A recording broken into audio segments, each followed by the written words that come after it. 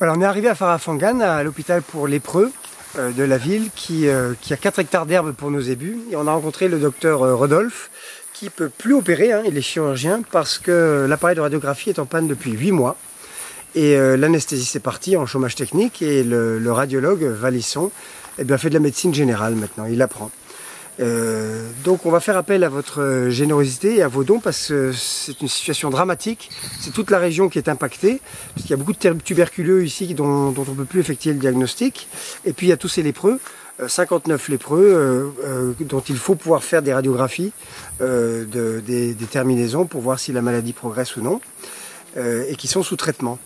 Donc voilà, on a besoin de vous. C'est un appel un peu désespéré que, que l'on fait, parce que ça fait huit mois que cet hôpital... nickel qui est impeccable, qui a été hein, inauguré en 2010, eh bien, ne fonctionne plus euh, parce que la porte d'entrée euh, de, des soins, c'est la radiographie et qui est, manquante. Voilà, on va acheter un appareil de radiographie qu'on a identifié à Tana et qui va être installé ici, mais pour ça, on a besoin de votre aide.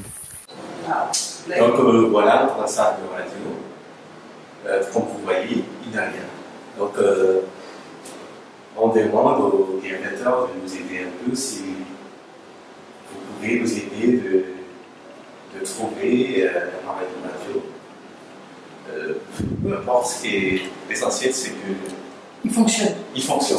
Parce que vous ne pouvez pas travailler. Tout est bloqué. Ici, tout est bloqué. On a les moyens, on a les, endroits, on a tout, tout, tout. Les murs, les tout est, tout est bien construit.